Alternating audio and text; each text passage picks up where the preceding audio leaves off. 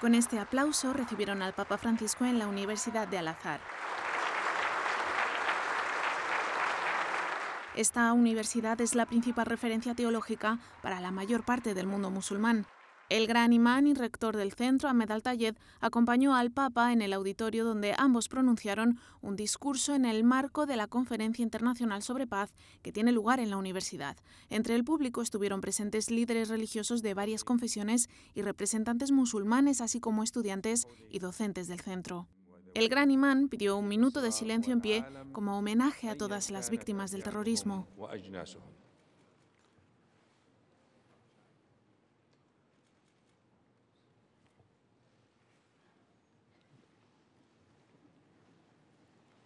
En su discurso, Ahmed Al-Tayeb explicó que el Islam no es una religión violenta y agradeció a las comunidades cristianas su apoyo contra los que acusan a los musulmanes de ser terroristas. Tras estas palabras, el Papa y el imán se fundieron en un abrazo.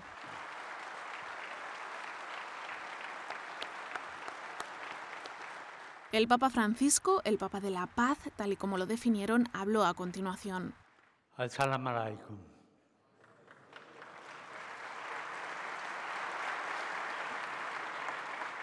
En primer lugar, agradeció a su hermano, el gran imán, su invitación. En su discurso, el Papa clamó con fuerza contra la instrumentalización de las religiones. Invitó además a los líderes religiosos a defender la auténtica religiosidad. La violencia, infatti, è la negazione di ogni autentica religiosità.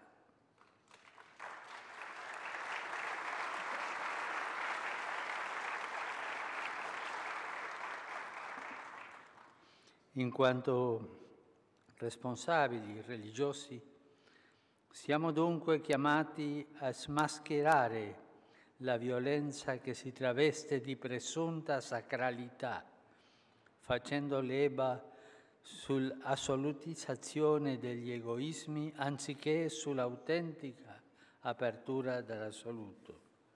De forma contundente, Francisco condenó la violencia que se ejerce en nombre de Dios, una perversión que calificó como la falsificación idolátrica de Dios.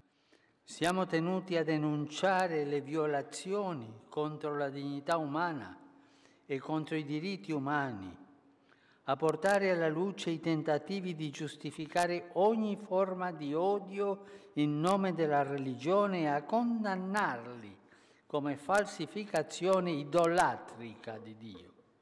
Il suo nome è santo. Egli è Dio di pace, Dio salam. El Papa fue interrumpido por los aplausos en varias ocasiones, como cuando explicó que los líderes religiosos no solo tienen que desenmascarar el mal, sino también promover la paz. Il nostro compito è quello di pregare gli uni per gli altri, domandando Dio il dono della pace, incontrarci, dialogare e promuovere la concordia in spirito di collaborazione e amicizia.